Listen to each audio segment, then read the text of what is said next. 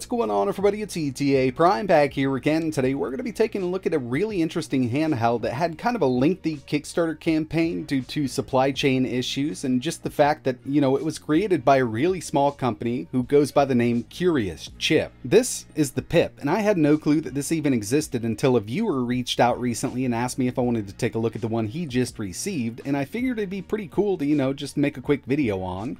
And I'll tell you, if this was released in a timely manner, I think a lot of people would have wanted to get their hands on this unit here.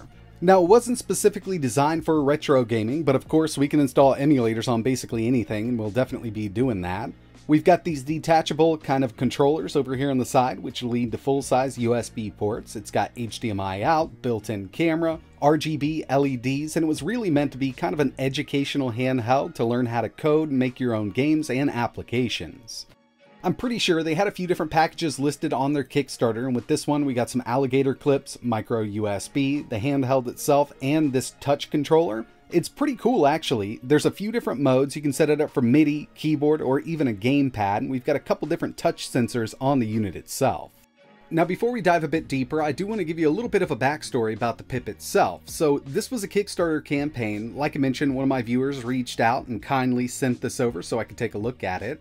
It's by a company that goes by Curious Chip. And over on their Kickstarter page, if we uh, take a look at their first update, I believe the campaign was actually created November 17, 2017. Um, a lot of backers started getting these in 2020, so it was definitely a kind of a drawn out project. And I know when you're a smaller company, it's really hard to get something off the ground like this. And with this, they had 241 backers that pledged a total of 40,000 euro, which isn't a lot of money to get, you know, a project off the ground, especially when it comes to manufacturing, shipping, and everything like that. So I'll tell you, I don't think they really uh, made any money on this, and they might have not even broke even with, you know, how much it takes to get something like this going. They did have a bunch of updates, but obviously, it did take them a long time to get everything together. And I'll tell you, you know, this was announced uh, November 2017. Even if this was shipping at the end of 2018, I think this would have been an awesome little handheld. Now, this was the first prototype. They haven't even swapped out the picture here for the newer ones, which are a bit sleeker. Still a thick boy, but uh, overall does look a lot better than their initial prototype. So yeah, this is powered by a Raspberry Pi. It's got the Compute Module 3 Plus, and the whole design here was actually put together really nicely. We'll do a teardown by the end of the video, but let's go ahead and boot this thing up. It does have Wi-Fi and a Raspberry Pi camera in the back of the unit. As you can see up front here, we've got this RGB LED array, which allows us to either program or use different applications to kind of access these RGB LEDs. It also works as a battery indicator and I believe a Wi-Fi strength indicator. It's got a 4-inch IPS touch display. Like I mentioned, it does have Wi-Fi and Bluetooth, an accelerometer, a single speaker, and a microphone built in. The operating system I have right now is their PIP operating system. I guess that's what they're calling it. There's a few pre-made applications ready to go in here, but uh, yeah, I mean, just taking a look at the unit itself, GPIO up front, these detachable controllers with A, B, X, Y, start, select. We've also got a D-pad here. Round back, we've got our 5 megapixel Raspberry Pi camera, and I'm pretty sure this could be swapped out for another Raspberry Pi camera. It's got a built-in kickstand, and up top, we've got micro USB for charging up the battery, a power button, our shoulder buttons, and a full-size HDMI port, and around the bottom here, micro SD card access and a 3.5mm audio jack. And once you pull off these controllers, two full-size USB ports. You can use these for data or different peripherals if you want to. So I did want to show off some of these pre-installed applications, and there was supposed to be a web interface to allow you to easily create programs to access all of the I.O. on this device, like the RGB LEDs, the GPIO, and even the rear camera, but personally I can't access it. Not sure if it's up on their website or not, or I'm doing something wrong, but I've tried everything. So the first one I wanted to take a look at was their little uh, LED application. Very simple here.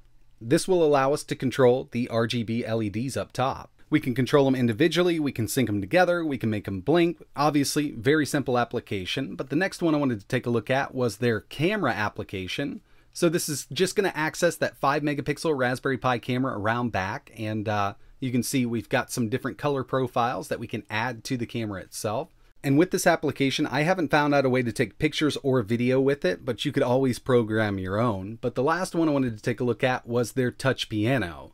This is the one I've personally had the most fun with, and the speaker with the operating system I have right now actually sounds really good, super clean, and loud, but when I move over to the next operating system, I just can't control the volume on it.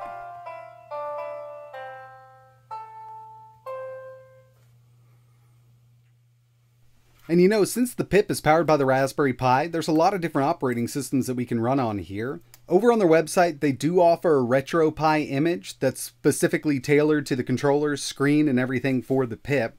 So we can definitely play some of our favorite retro games on this device. And you know, since this is running the Compute Module 3 Plus, we've got access to PS1, Game Boy Advance, Neo Geo, FBA, MAME, PC Engine, there's thousands and thousands of retro games that we can run on this device at full speed, so I've loaded up a few here.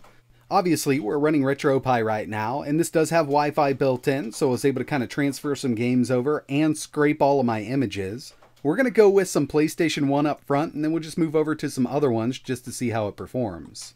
And we'll go with Bloody Roar 2, one of my favorite fighting games, and it is a harder one to emulate on lower end systems when it Fortunately, with this build of RetroPie, I can't find a way to turn the volume up on this device. I know it can go much louder, given the uh, other operating system we took a look at, but with this, even from the uh, settings in RetroPie, sound adjustment just isn't working.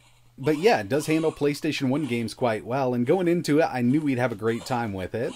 There is a hotkey set up here, so uh, the power button up top and the start button bring us right back into the emulation station, and we can move over to something else.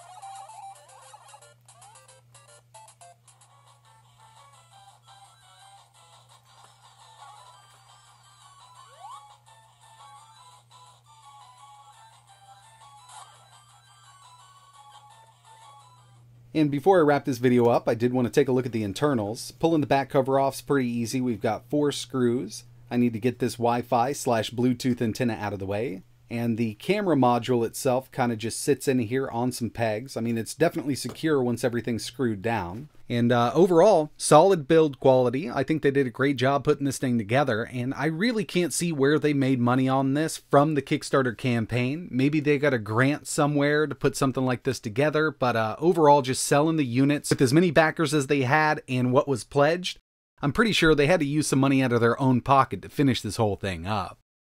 But that's going to wrap it up for this video. Really appreciate you watching. I thought this was cool enough to make a quick video on. And like I mentioned, if this was released in a timely manner, I'm sure a lot of people would have wanted to get their hands on this at the time. Uh, late 2018, we didn't have many great handhelds on the market. Everybody was loving the Raspberry Pi, especially the compute module. If you want to learn a little more, I will leave a link to their website in the description. But if you've got any questions, let me know in the comments below. And like always, thanks for watching.